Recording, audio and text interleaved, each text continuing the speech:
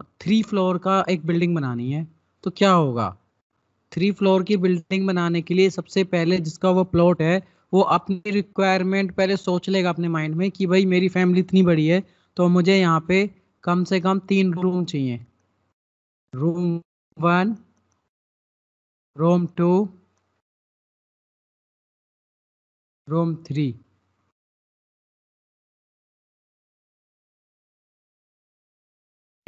ठीक है? और मुझे एक किचन चाहिए, यहाँ पे किचन हो गई। और ये हॉल हो गया आपका। यहाँ पे स्टेयर हो गई। एक है ना, जिसके एक प्लॉट है, जो अपना प्लॉट बनवाना चाहता है थ्री फ्लोर की बिल्डिंग उसकी ये की रिक्वायरमेंट हो गई, ये माइंड सेट हो गया कि मेरे को थोड़ा सा ये रिक्वायरमेंट है। ठीक है? तो अब किसके पास जाएगा? वो जाएगा आर्किटेक्चर के पास। सिविल इंजीनियर के पास नहीं जाएगा, वो जाएगा आर्किटेक्चर के पास। ठीक है आर्किटेक्चर से अपनी रिक्वायरमेंट बता देगा कि मेरा प्लॉट इतने बाय इतने का है एक्स बाय वाई का है मेरा प्लॉट अब मेरे को ये ये रिक्वायरमेंट है, तीन रूम हॉल किचन और स्टेयर चाहिए, तीन फ्लोर की बिल्डिंग इतना मेरा बजट है, आप मेरा प्लान बना दीजिए। आर्किटेक्चर एक प्लान बनाएगा और अच्छे आर्किटेक्चर पे जाओगे, अच्छे पैसे दोगे तो थ्री भी बना के दिखा देगा कि आपका घर ऐसा दिखेगा। ये ध्यान दिखेगा बोला उसने। कि आपका घर देखने में ऐसा होगा। आपने अप्रूव कर दिया आपने पैसे दे दिए इसको इसने मैप बना दिया। आप चाहते हो कि ये बनवा भी यही दे। है ना? तो ये क्या है ये दो चीज़ों दो, दो दो लोगों को हायर करेगा। एक तो कॉन्ट्रैक्टर जिसके पास मटेरियल होगा। और एक किसको? एक सिविल इंजीनियर को। सिविल इंजीनियर क्या करेगा? सिविल इंजीनियर के पास इस प्लॉट का मैप है। जो आर्किटेक्चर ने आपकी रिक्वायरमेंट के हिसाब से बना हुआ है। कि ये रूम वन ये रूम टू ये रूम थ्री ये किचन जैसा ये बनाया है जैसे लाइन टाइप्स का होगा। ठीक है? ये मैप वो सिविल इंजीनियर को दे देगा। अब सिविल इंजीनियर का काम क्या होता है? आर्किटेक्चर का काम था कि हमारा स्ट्रक्चर देखने में कैसा है। ये बार कनेक्ट की आवाज़ आ रही है।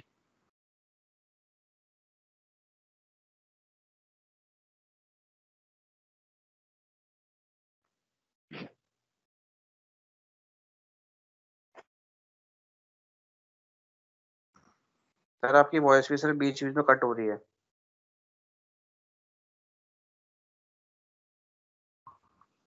एक second. Sir I think network issue है सर आपका। यार नेटवर्क यहाँ सब चीज़ें तो सही चल रही हैं, पता नहीं नेटवर्क इशू कैसे हो रहा है। चलो। ठीक है तो क्या हुआ कि हम हमारा जो सीनियर है, उसको एक मैप मिला, जिसमें केवल ये शो किया हुआ है प्लॉट का साइज़ क्या है रूम का साइज़ क्या है किचन का साइज़ क्या है हॉल का साइज़ क्या है। ये बता दिया। ठीक है, काम है। उस भाई उसमें बीम, कॉलम कौन कौन से एलिमेंट होते हैं बिल्डिंग में? बीम, कॉलम, बीम होता है, कॉलम होता है, स्टेयर होती है, स्लैब होती है, ठीक है, वॉल होती है। ये सारे एलिमेंट्स होते हैं कंपोनेंट होते हैं एक बिल्डिंग के। ठीक है, कुछ साइज़ तो होगा ना, क्योंकि जो आर्किटेक्चर है, उसने साइज़ नहीं बताया है उसका। बीम, कॉलम, स्लैब का, उसने बताया रूम का साइज़ उसने बताया किचन का साइज़ हॉल का साइज़ उसने ये नहीं बताया कि जो वॉल है उसकी थिकनेस क्या होगी, जो बीम है उसकी थिकनेस क्या होगी कॉलम जो है उनका ये साइज़ क्या होगा? ठीक है? तो ये साइज़ को निकालेगा, ये एक सिविल इंजीनियर निकालेगा। साइज़ किस पे डिपेंड करता है कि कितना लोड आ रहा है, उस लोड के अकॉर्डिंग हमारे जो बिल्डिंग के कंपोनेंट है, उनका उनमें कौन सा मटेरियल यूज़ होगा? तो ये कैसे डिज़ाइन करेगा वो? क्योंकि उसको पहले टेक्निकल नॉलेज होनी चाहिए, जो हमारे गाइडलाइंस मैप वो है guidelines I S I S four five six I S A one eight nine three I S eight hundred भी हमारे आई एस नॉलेज है सिविल इंजीनियर को, इसलिए वो सिविल इंजीनियर है। वो उन सब की हेल्प से क्या करेगा? सबसे पहला स्टेप वो एक थ्री स्ट्रक्चर बनाएगा। ठीक है? जैसे लाइनदार आपको आर्किटेक्चर ने दिया है ना, ऐसे लाइन के हिसाब से वो एक थ्री स्ट्रक्चर बना देगा। ठीक है? किसमें? किसी एक सॉफ्टवेयर में। अब सॉफ्टवेयर कौन कौन से हैं? ठीक है अभी सॉफ्टवेयर की बात करेंगे सबसे पहले। किसी एक सॉफ्टवेयर में उसने उसने आ, क्या किया उसका थ्री स्ट्रक्चर बना दिया। उस बिल्डिंग को जैसा देखने में लेकिन केवल उसमें कंपोनेंट होंगे। आर्किटेक्चर जो दिखाता है क्लाइंट को वो दिखाता है वॉल का कलर देखने में कैसी ग्लास कहाँ लगे होंगे फर्नीचर कहाँ होगा। पर सिविल इंजीनियर जो थ्री स्ट्रक्चर बनाता है वो केवल बिल्डिंग के कंपोनेंट बनाता है। कॉलम बीम स्लैब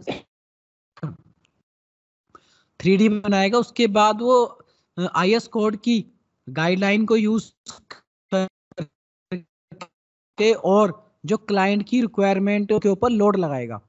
लोड लगाने के बाद उसको एनालाइज करेगा। एनालाइज करने के बाद की हेल्प से डिज़ाइन करेगा कि हर बीम का कॉलम का स्लैब का साइज़ क्या होगा, उसमें रीइंफोर्समेंट कितना गिरेगा, किस केस में आरसीसी डिज़ाइन के केस में कंक्रीट के, ठीक है? अगर स्टील स्ट्रक्चर है तो वो अलग केस हो गया, एल्यूमिनियम स्ट्रक्चर है वो अलग हो गया, वुड स्ट्रक्चर है वो अलग केस हो गया। आवाज़ कट रही है, थोड़ी बहुत कोई बात नहीं, लेकिन अगर ज़्यादा बड़ा इश्यू हो कि स्लाइड कुछ दिखाई नहीं दे रहा है, मेरी बिल्कुल ही आवाज़ बंद हो गई तो तुरंत मेरे को मैसेज या कॉल करके बता देना।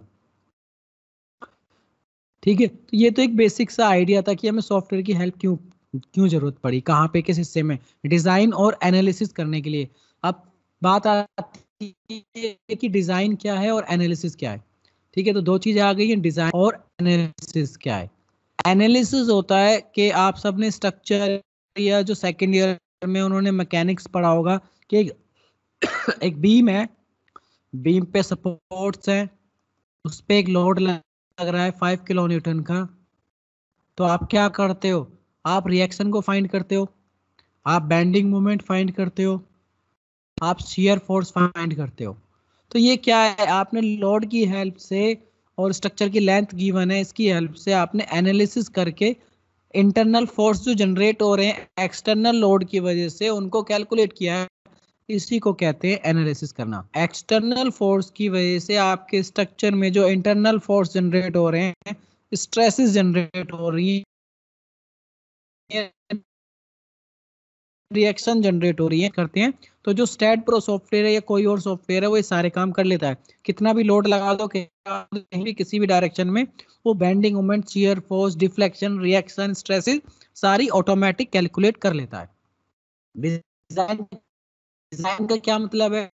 कि जो आपके इस बीम में बेंडिंग मोमेंट आया, इस बेंडिंग मोमेंट को रेसिस्ट करने के लिए, इस बीम का साइज़ क्या होगा? इसके अंदर इन्फोर्समेंट कितना डलेगा, उसको बोलते हैं हम डिज़ाइन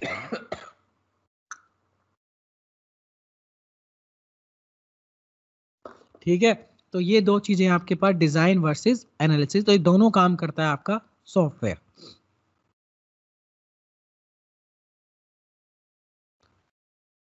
अब बात करते हैं हम सॉफ्टवेयर की.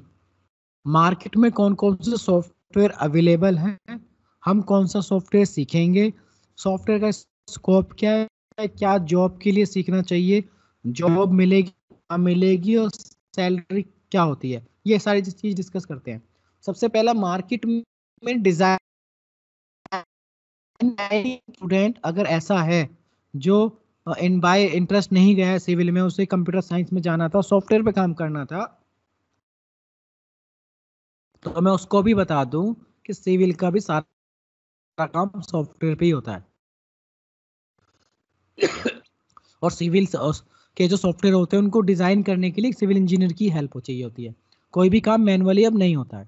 अगर एक आरसीसी का बीम डिज़ाइन करोगे, सिंपल आरसीसी का बीम तो उसमें भी आधा आधा घंटा लग जाएगा अगर आप बहुत एक्सपर्ट हो, सारी डिटेलिंग देने में। बहुत एक्सपर्ट को लगेगा, आधा घंटा, उससे भी ज़्यादा लग सकता है। और एक बिल्डिंग में कभी कभी हज़ार, दो हज़ार, पाँच हज़ार बीम और कॉलम भी होते हैं। और ये तो बीम की बात करूँ तो हम क्या करते हैं? फास्ट कैलकुलेशन के लिए सॉफ्टवेयर की हेल्प लेते हैं। अब मार्केट में कौन कौन से सॉफ्टवेयर अवेलेबल हैं? जैसे कि आपको पता होगा सिविल इंजीनियर की बहुत सारी उनमें से स्ट्रक्चर इंजीनियर की बात हो रही है यहाँ पे। उसके लिए जो सॉफ्टवेयर अवेलेबल है। ठीक है? उसकी मैं बात कर रहा हूँ। तो फिर वो है ई टैप और प्रो ये दोनों सॉफ्टवेयर मार्केट में सबसे ज़्यादा फ़ेमस है स्ट्रक्चर को डिज़ाइन और एनालिसिस करने के लिए, ठीक है? तो जब ये दोनों फ़ेमस हैं इन इन्हीं दोनों के ऊपर जॉब लगनी है तो मैं और सारे सॉफ्टवेयर की बात ही नहीं करता। एनसीज है अबाकस है रिविट रिविट स्ट्रक्चर भी है, इनसे भी आप डिज़ाइन कर सकते हो और भी मार्केट में, लेकिन इन्हीं पे सारा काम हो रहा है तो हम किसी और की बात ही नहीं करते।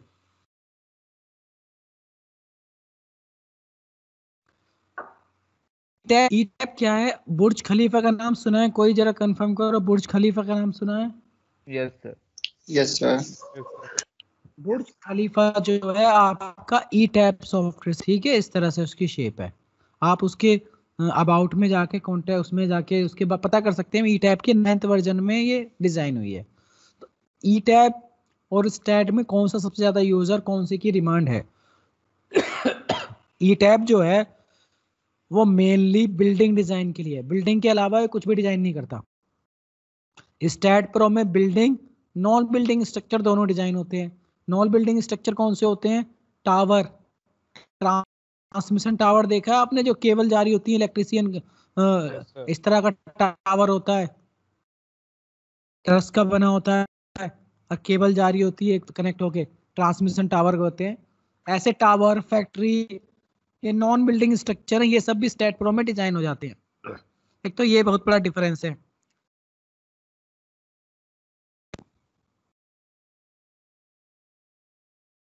ठीक है, दूसरा डिफरेंस ये है कि क्योंकि टॉल बिल्डिंग होती है ना टॉल बिल्डिंग में एक डायनामिक फोर्स ज़्यादा लगता है। डायनामिक फोर्स विंड लोड और अर्थक्वेक लोड की वजह से।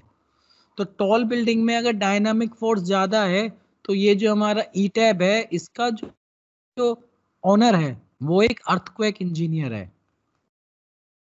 ठीक है? वो अमेरिकन पाकिस्तानी है। तो जब टॉल बिल्डिंग पे डायनामिक फोर्स लगते हैं तो डायनामिक फोर्स ज़्यादा अच्छे एक सेकंड के रुक जाते हैं। थोड़ा सा कनेक्शन एरर आ रहा है, मुझे लग रहा है।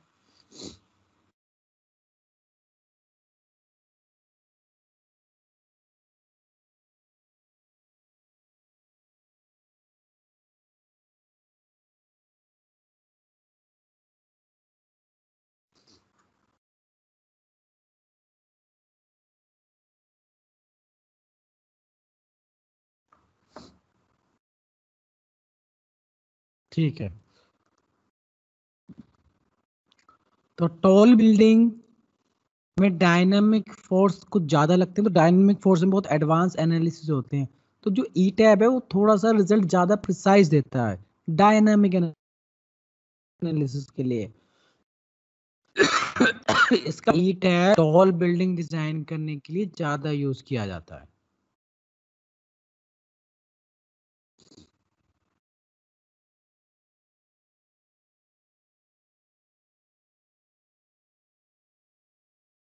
ठीक है? तो टॉल बिल्डिंग का ज़्यादा यूज़ डिज़ाइन करने के लिए ज़्यादा यूज़ होता है ई टैप का और ई टैप में केवल सिंपल बिल्डिंग डिज़ाइन होती है और कुछ नहीं होता। तो इंडिया में टॉल बिल्डिंग का स्कोप अब धीरे धीरे बढ़ रहा है। अब टॉल स्ट्रक्चर बनने स्टार्ट हो गए हैं। ठीक है? दुबई में क्योंकि टॉल ही टॉल स्ट्रक्चर है तो वहाँ ज़्यादातर कौन सा सॉफ्टवेयर यूज़ होता है? ई टैप लेकिन और जितनी भी कंस्ट्रक्शन है फ्लैट है, इनको टॉल स्ट्रक्चर नहीं कहेंगे। जो फ्लैट आप देखते हो ना सात सात चौदह चौदह फ्लोर के, ये स्टैट में हो जाते हैं। जो इससे भी ज़्यादा ज़्यादा है ना, तीस फ्लोर के, चालीस फ्लोर के, इस टाइप के स्ट्रक्चर जो है, पचास, सौ फ्लोर के, इस टाइप के स्ट्रक्चर ई टैप में रिज़ल्ट बेटर आता है। इसलिए वहाँ पे ई टैप का स्कोप है। लेकिन आजकल की जो कंपनियाँ हैं, उनको ऐसा बंदा चाहिए जिसे दोनों आते हो। ठीक है? ई टैप भी आता हो स्टैट भी आता हो। क्योंकि उनके पास प्रोजेक्ट ऐसा नहीं है केवल ई टैप के प्रोजेक्ट लेते हैं, उनके पास कैसा भी प्रोजेक्ट आ सकता है। और सेवेंटी परसेंट तो सिक्सटी सेवेंटी परसेंट तो स्टेट पे काम होता है। थर्टी फोर्टी परसेंट ही टैप पे होता है तो वो अलग से बंदा तो रखेंगे नहीं। तो उनको ऐसा बंदा चाहिए जो दोनों सॉफ्टवेयर आते हो।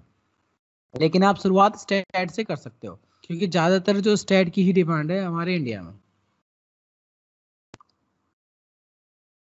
ठीक है, ये तो हो गया दोनों में डिफरेंस अब बात करते हैं कि जॉब का क्या स्कोप है। तो जितने भी आप कंस्ट्रक्शन देख रहे हो, उन सब कंस्ट्रक्शन के लिए स्ट्रक्चर डिज़ाइनर चाहिए होता है। ठीक है? कंसल्टेंसी होती हैं जो आर्किटेक्चर से कांटेक्ट भी होता है खुद की अपनी बड़ी बड़ी कंसल्टेंसी होती है, जैसे एलएनटी की भी है कंसल्टेंसी है, और बहुत सारी नोएडा में है क्या कहते हैं, दिल्ली में आपका नेहरू प्लेस में बहुत सारी कंसल्टेंसी है। तो कंसल्टेंसी में जो स्ट्रक्चर डिज़ाइनर होता है, उसकी जो सैलरी होती है, वो एक्सपीरियंस बेस्ड होती है। तो इसमें सैलरी की तो लिमिट नहीं है। और उसमें सबसे बड़ा फ़ायदा ये है कि अगर आप एक बार इसमें घुस गए डिज़ाइनिंग में और आपने तीन चार साल काम कर लिया और आपको पता चल गया, आपको नॉलेज हो गई तो आप अपना काम भी खोल सकते हो और अपने काम में तो बहुत ही ज़्यादा पैसा है। ठीक है, इसमें फीट स्क्वायर बाय पैसा होता है कि मैं इतने रुपए लेता हूँ पर फीट स्क्वायर और इतनी बड़ी बिल्डिंग है तो उसे डिज़ाइन करने में इतना टाइम लगेगा। और डिज़ाइन करने में तो एक रुपया नहीं लगता है तो सारा प्रॉफिट ही है। ठीक है मान लो आपको कोई बिल्डिंग डिज़ाइन करनी आती है, आपके पास कोई क्लाइंट आया, दस फ्लोर की बिल्डिंग डिज़ाइन करनी है आपको तो आपको कुछ करना थोड़ी ना है। आपको कुछ इन्वेस्ट थोड़ी ना करना है।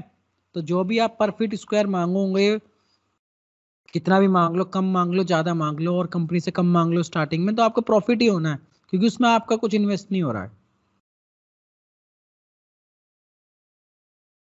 ठीक है?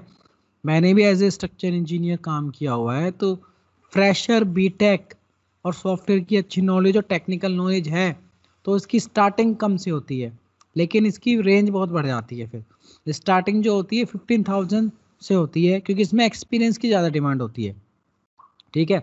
अगर एज ए फ्रेशर आप लगते हो, आपको सॉफ्टवेयर आते हैं तो फिफ्टीन के से एक अच्छी शुरुआत मानेंगे, अगर फिफ्टीन के आपको मिल जाता है पर मंथ ठीक है? और जो मैंने जो देखा है कि जिन लोगों को मैं जानता हूँ, उनकी 2.5 लैख भी देखी है मैंने। As a structure engineer per month India में। और बाहर तो बहुत ही ज़्यादा स्कोप है इसका। लेकिन आपको सॉफ्टवेयर से ज़्यादा टेक्निकल नॉलेज की ज़्यादा नॉलेज हो सॉफ्टवेयर तो आनी चाहिए, बिना सॉफ्टवेयर के तो होगा ही नहीं। लेकिन टेक्निकल नॉलेज ज़्यादा होगी क्योंकि इंटरव्यू में जो पूछा जाता है, वो आपसे टेक्निकल नॉलेज पूछी जाती है। सॉफ्टवेयर जो काम करता है, वो ठीक कर रहा है नहीं कर रहा, कैसे पता चलेगा? अगर मैं इस सॉफ्टवेयर पे एक बीम बनाऊँ, ये बीम, और उस बीम पे एक पॉइंट लोड लग रहा है, पी, ठीक है? और मैं उसका बेंडिंग में डायग्राम अगर मैं सॉफ्टवेयर में देखूँ, ऐसे आ रहा है। तो आप इसको करेक्ट मान लोगे? नहीं, क्योंकि आपको टेक्निकल नॉलेज आपको पता होगी कि जब पॉइंट लोड है यूडीएल नहीं है तो बेंडिंग मोमेंट जो होगा स्ट्रेट लाइन होगा। तो आपको टेक्निकल नॉलेज है, तभी आप ये पता कर पाओगे ना कि सॉफ्टवेयर काम सही कर रहा है, नहीं कर रहा। तो टेक्निकल नॉलेज में क्या, गाय, आपको स्ट्रक्चर इंजीनियरिंग आनी चाहिए स्ट्रक्चर आनी चाहिए आरसीसी आनी चाहिए और आईएस कोड की नॉलेज होनी चाहिए।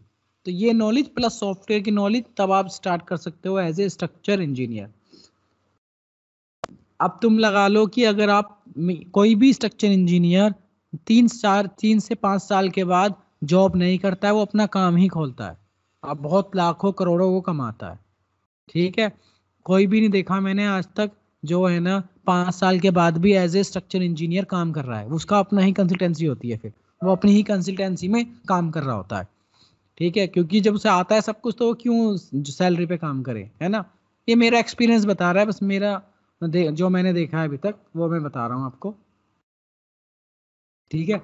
तो ये सॉफ्टवेयर है STAAD Pro E tab E tab की भी हम क्लास स्टार्ट करवा देंगे, इसके बाद पहले स्टैट सीख लो, ठीक है? तो स्टैट प्रो में स्ट्रक्चर को एनालिसिस करना है डिज़ाइन करना है। जिसने भी स्ट्रक्चर एनालिसिस पढ़ा है या सेकेंड ईयर में इंजीनियरिंग मैकेनिक्स पढ़ी है, उनमें जो बीम कॉलम आपने पढ़े हैं ना फोर्स लगा के रिएक्शन निकालना बैंडिंग मोमेंट शेयर फोर्स निकालना, वो सारे काम इस सॉफ्टवेयर में हो जाएँगे, साथ में वो डिज़ाइन भी कर देगा। क्योंकि हम इस ट्रेनिंग के दौरान टेक्निकल नॉलेज भी यूज़ करेंगे। ऐसा नहीं है कि सॉफ्टवेयर के केवल टूल सिखाए जाएँगे। थोड़ी थोड़ी टेक्निकल नॉलेज भी सिखाई जाएगी। ज़्यादा नहीं थोड़ी थोड़ी जिससे जो सेकेंड ईयर में है, उनको भी पता चल सके, जो स्ट्रक्चर नहीं पढ़ा है आरसीसी नहीं पढ़ा है, और जो जिन्होंने पढ़ के भूल गए उनको भी थोड़ा सा याद आ सके। तो टेक्निकल नॉलेज प्लस सॉफ्टवेयर ये चलेगा। ये फ़र्स्ट क्लास थी इंट्रोडक्शन और प्लस सॉफ्टवेयर कैसे इंस्टॉल करना है, ये रिकॉर्डेड वीडियो भी मिल जाएगी आपको। कल सेकंड क्लास होगी, उसके बाद मंडे ट्यूसडे वेंसडे केवल तीन दिन होगी हफ़्ते में। ठीक है? तो अब हम इस इंट्रोडक्शन को यहीं पे फिनिश करते हैं और हम बात करते हैं अब सॉफ्टवेयर इंस्टॉलेशन की। जो मैंने आपको भेजा है, ये भेजा है मैंने आपको। हो सकता है बहुत सारे को दिक्कत आई हो अभी सॉफ्टवेयर डाउनलोड करने में इंस्टॉल करने में। कोई बात नहीं, कर लेना अभी। ठीक है? आपको प्रैक्टिस भी करनी है क्योंकि जो भी क्लास में कराया जाएगा। मैंने आपको ये वाली फ़ाइल भेजी है। ये वाली फ़ाइल।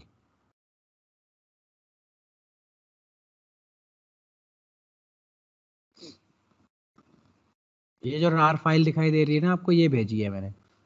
ठीक है तो मैं इसी को जरा एक्सट्रैक्ट करता हूँ। विनरार आपके पीसी में होना चाहिए। विनरार फ्रीवेयर सॉफ्टवेयर है। ये डाउनलोड कर लेना गूगल से। तभी आपको फ़ाइल इस कलर में दिखाई देगी ये। है ना, यहाँ पे दिखाई दे रही है ना, ये विनरार फॉर्मेट है। ये फोल्डर मत देखिए, मैंने केवल आपको ये वाली फ़ाइल भेजी है, ये वाली। ठीक है? तो इस तरह का फोल्डर इस कलर में इसलिए दिखाई देगा, अगर आपके पास सॉफ्टवेयर कौन सा इंस्टॉल होगा, विनरार, दो से तीन एम का है ये ये डाउनलोड कर लेना। डाउनलोड करने के बाद जब इंस्टॉल हो जाएगा तो आपकी डाउनलोडेड स्टैट प्रो की फ़ाइल इस कलर की दिखाई देने लगेगी। उसके बाद आपको राइट क्लिक करना है और एक्सट्रैक्ट टू करना है यहाँ पे एक्सट्रैक्ट टू स्टैट प्रो तो यहाँ पे एक फोल्डर आ जाएगा इसी नाम से, ये आ गया है। ये पहले से था, इसलिए इसी के ऊपर हो गया रिप्लेस ये फोल्डर ये वाला फोल्डर जैसे आप एक्सट्रैक्ट अब इसको ओपन करते हैं। तो यहाँ पे स्टैट प्रो की है और स्टैट प्रो है, ठीक है? ये वाला फोल्डर आएगा आपके पास। दो की दी हुई है। कि कभी कोई की काम करती है, कभी कोई की काम करती है।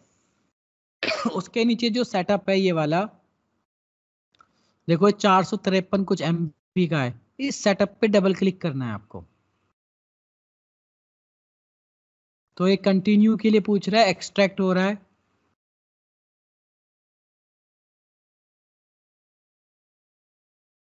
फिर उसके बाद आपके पास ये एक आ जाएगा। एक विंडो ओपन हो जाएगी। इसमें बहुत सारे सॉफ्टवेयर जैसे सबसे पहले क्या है? Window installer window dot net ये जो दो है ना फ़र्स्ट वाले एट पॉइंट में से जो फ़र्स्ट टू पॉइंट हैं, ये विंडोज़ के ही अपडेट हैं। अगर आपकी विंडो में ये नहीं है तो वो इंटरनेट मांगेगा डाउनलोड करके फिर इंस्टॉल होने के लिए। और इंटरनेट नहीं होगा तो एरर आ जाएगा। और आपकी विंडो अगर अपडेटेड है तो ये ऑटोमेटिक इंस्टॉल हो जाएँगे, ठीक है? तो मेरे में तो अपडेटेड है, देखो क्या होता है, मैं क्लिक करता हूँ तो। देखो क्लिक करते के साथ ही थर्ड पॉइंट इंस्टॉल हो रहा है स्टैट प्रो क्योंकि दो, पहले तीन पॉइंट पहले से ऑलरेडी इंस्टॉल है मेरे में। आपके में क्योंकि पहली बार स्टैट होगा तो आपका सेकंड पॉइंट से थर्ड पॉइंट से स्टार्ट होगा। और अगर आपके में फ़र्स्ट टू पॉइंट नहीं है तो वो इंटरनेट मांगेगा और इंटरनेट से डाउनलोड करके इंस्टॉल करने के बाद फिर वो थर्ड पॉइंट पे आएगा। तो मेरा फोर्थ पॉइंट पे आ गया है। मैंने नेक्स्ट किया। यहाँ पे एक्सेप्ट किया इसको एग्रीमेंट को। नेक्स्ट यहाँ कहाँ ड्राइव पे सेव करना है? सी में ही रहने देना जो डिफ़ॉल्ट आ रहा है। देखो, यहाँ पे आपको ये ध्यान रखना है। ये जो की है, यहाँ पे की मेरे में ऑटोमेटिक आ रही है क्योंकि मेरे में स्टेट प्रो मैंने इंस्टॉल किया हुआ था पहले से, फिर अनइंस्टॉल किया है आपको दिखाने के लिए। इसलिए डिफ़ॉल्ट की आ रही है। ठीक है? अब ऊपर जो आ रहा है एक ईमेल आईडी एक एड्रेस आ रहा है select server dot Bentley dot com क्योंकि ये जो सॉफ्टवेयर है स्टेट प्रो बैंटली वालों का है। तो सर्वर नेम में आपको ये डालना है। और की आपको डाल देनी है जो नोट पैड में साथ में ये वाली की जिसमें ई e और बी लास्ट में है। ठीक है? जब ये आप रिकॉर्डेड वीडियो आप दोबारा से देखोगे ना तो ये मैं हाइड कर दूँगा की हाइड इसलिए कर दूँगा क्योंकि ये केवल कॉलेज के स्टूडेंट्स के लिए है। कोई कॉलेज से आउटसाइड का स्टूडेंट इसको जब वीडियो को देखेगा क्योंकि यूट्यूब पे होगी तो वो दिखाई दे रहा। है? ये सर की वगैरह जो लिखी हुई है इसमें क्लियर दिखाई नहीं दे रही है। हाँ तो आपको नोटपैड में दिया हुआ है ना साथ में उस फ़ाइल के आप वहाँ से देख लोगे। ठीक है सर। ठीक है? लेकिन आपको ये सिलेक्ट सर्वर डाल ये नाम जो है ना सर्वर का नाम इसको मैं जूम करने की कोशिश करता हूँ रुको।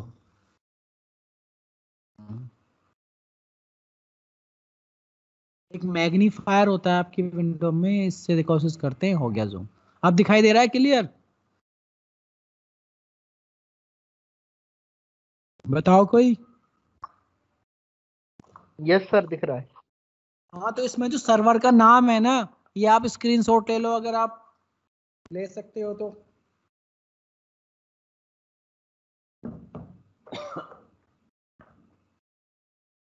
जो लोग मोबाइल से ही वीडियो को देख रहे हो तो स्क्रीनशॉट लेना जानते होंगे। जो कंप्यूटर से इस लेक्चर को देख रहे हैं तो कंप्यूटर में भी स्क्रीनशॉट लिया जा सकता है। वो कैसे? जो आपका कीबोर्ड में विंडोज़ की ऐसे विंडो छपी होती है, प्लस प्रिंट स्क्रीन का जो बटन है, उनको प्रेस करोगे तो स्क्रीनशॉट ले लिया जाएगा। तो की तो आपको नोटपैड में साथ में मैंने दी है सॉफ्टवेयर में, जो डाउनलोड करना है, लिंक दिया है मैंने गूगल स्टेट प्रो ट्रेनिंग के व्हाट्सएप ग्रुप पे। साथ में आपको ये select server dot Bentley dot com ये डालना है, ठीक है? इसके बाद मैं नेक्स्ट करता हूँ। यहाँ पे आपको यही रहने देना है, ये यूज़र नेम ऑटोमेटिक ले लेगा, जो मेरे पीसी का यूज़र नेम है, और ये सब सेम सेटिंग ऑटोमेटिक यही रहने देनी है। नेक्स्ट यहाँ पे आपको ये इंपॉर्टेंट है, आपको यहाँ पे सिलेक्ट करना है metric imperial English unit system में क्या है, आपका स्टेट प्रो की सारी यूनिट फीट और किलो पाउंड में होगी। जबकि हमें किसमें चाहिए? हमें चाहिए न्यूटन और मीटर में। तो हम डिफ़ॉल्ट जो है मैट, इसे बाद में भी कर सकते हैं। अगर गलती से नहीं हुआ है तो बाद में भी चेंज कर सकते हैं। पर अभी कर दोगे तो ज़्यादा सही रहेगा। मैट्रिक। Next, install.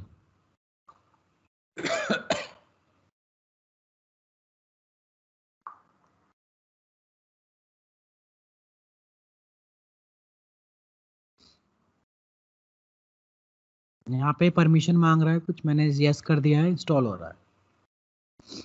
इसमें जो आप देख रहे हो ना एट पॉइंट है, इसमें केवल फोर्थ पॉइंट इंस्टॉल चाहिए हमें, और कोई सा पॉइंट नहीं चाहिए इंस्टॉल और सारे तो हम सीख ही नहीं रहे हैं, और अदर सॉफ्टवेयर इसके बैंडली के बहुत सारे सॉफ्टवेयर हैं। उनमें से जो एक स्ट्रक्चर डिज़ाइनिंग का है, वो है स्टेट प्रो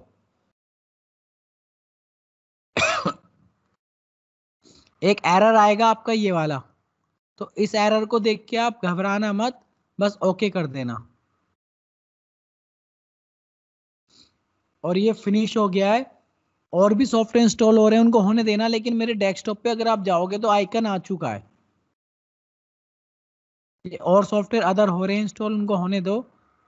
लेकिन आप मेरे डेस्कटॉप पे अगर देखोगे तो आइकन आ चुका है स्टेट प्रो का आइकन ये है। ये वाला STAAD Pro V eight I तो ये क्या है? ये जो ग्रीन ब्लू कलर का आपको दिखाया गया है ना, ये आई सेक्शन है स्टील स्ट्रक्चर का। और जो रेड कलर का एरो है, ये बेंडिंग मूवमेंट है, और जो ऊपर से एरो आ रहे हैं लोड है तो ये आइकन है इसका स्टेट प्रो का। स्टेट का मतलब है structure analysis and design pro मतलब प्रोफेशनली यूज़ होता है ये वर्जन एट आई इंटरनेशनली ठीक है? ये आइकन आपका आपका आ गया है तो इसको मैं डबल क्लिक करूँगा। इस आइकन पे स्टेट प्रो पे। मैं अभी नेक्स्ट नेक्स्ट नहीं कर रहा हूँ, ये और सॉफ्टवेयर इंस्टॉल हो रहे हैं। मैं बस इसी को चला के दिखा रहा हूँ। डबल क्लिक किया मैंने स्टेट प्रो के आइकन पे। आपको देखना है कि यहाँ पर ये देख रहे हो ना, आप यहाँ पे इंडियन डिज़ाइन कोड इसको जूम कर लेता हूँ मैं। ये स्टेट प्रो ओपन हो चुका है। यहाँ पे बहुत सारी कंट्रीज़ के नाम है, क्योंकि हर कंट्री का अपना एक कोड होता है building design code IS code आपने सुना भी होगा। तो हमें इंडियन के कोड के अकॉर्डिंग अगर बिल्डिंग डिज़ाइन करनी है तो इंडियन कोड सेलेक्ट करना है। और जैसे ही मेरा यहाँ पे इंडियन कोड सेलेक्ट है वहाँ पे ग्रीन कलर का टिक आ रहा है। ग्रीन कलर का टिक का मतलब है ये हमारा एक्टिवेट है, स्टेट प्रो। अगर रेड कलर का आ रहा है तो इसका मतलब वो आपका सॉफ्टवेयर एक्टिवेट नहीं है, फिर उसमें आप मुझको बताना, फिर हम देखेंगे क्या करना है। ग्रीन टिक आना चाहिए, अगर रेड आ रहा है तो एक बार इसको हटा के, एक बार दोबारा लगा के आप ऐसे इसको देख लेना। ये ग्रीन आना चाहिए। ठीक है? तो ये है आपका स्टेट प्रो का इंटरफेस। आगे इसको नेक्स्ट क्लास में बताया जाएगा। सबसे पहले सबका यहाँ तक इंस्टॉल हो जाए क्योंकि इंस्टॉल होने के बाद पर डे की क्लास को आपको रिवीजन करना है। एक बार वरना सॉफ्टवेयर आप भूल जाओगे सीख कर भी। ठीक है? क्योंकि आपको सर्टिफिकेट तो मिल नहीं रहा है तो आपके पास कोई प्रूफ तो है नहीं कि हमने सीखा हाँ। बताओ। रेड आ रहा है वो। रेड आ रहा है आपका? यस सर इसी सेटअप से आपने यूज़ किया है? हाँ सर इसी से किया आपके सामने किया और की जो है यही वाला डाला था जो इसमें आ रहा था। हाँ सर। हाँ सर यही डाली ये थ्री बी जो है लास्ट में एक बार दूसरा वाला की यूज़ कर लेना। अब रेड आ रहा है और दूसरा वाला की कैसे यूज़ करना है वो बता देता हूँ। मान लो किसी का रेड आ रहा है तो इसका मतलब एक्टिवेट नहीं हुआ। तो यहाँ पर जाना है लाइसेंस ये दिखाई दे रहा है आपको, यहाँ पे आ रहा है लाइसेंस मैनेजमेंट इस पे क्लिक करना है तो एक विंडो ओपन हो जाएगी। और उसमें एक एरर आएगा। उस एरर को ओके कर दो। और आपको जाना है यहाँ पे टूल में। टूल में आ रहा है प्रोडक्ट एक्टिवेशन विजार्ड। यहाँ पे क्लिक करोगे तो ये विंडो आ जाएगी, इसमें पहला सिलेक्ट करना है और नेक्स्ट करना है। और यहाँ पे देखो की डला हुआ है और क्या डला हुआ है? Bentley server select server dot Bentley dot com और की डला हुआ है। यहाँ पे नेक्स्ट करोगे और इंटरनेट यहाँ पे होना चाहिए थोड़ी देर के लिए। ठीक है? तो सिलेक्ट सर्वर स्पेलिंग देख लेना स्मॉल में होना चाहिए select server Bentley dot com उसके बाद की उसके बाद नेक्स्ट और थोड़ी देर के लिए इंटरनेट होना चाहिए इंटरनेट से ये चेक करता है एक बार। मैं इसको नेक्स्ट करता हूँ। दूसरी वाली डालना है ना अब तो? हाँ दूसरी वाली डाल के देखो। यहाँ इंडिया आएगा यहाँ मैं कुछ नहीं करता हूँ और फिनिश कर देता हूँ। बस इतना करना है एक्टिवेट हो जाएगा।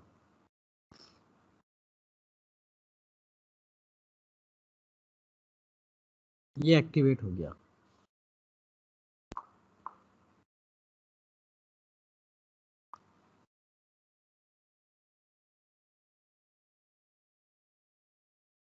मैंने और सभी सॉफ्टवेयर जो इंस्टॉल और थे उनको कैंसिल कर दिया था। Cross cross cross cross cross आ गया है, क्योंकि मेरे को केवल स्टैट प्रो चाहिए।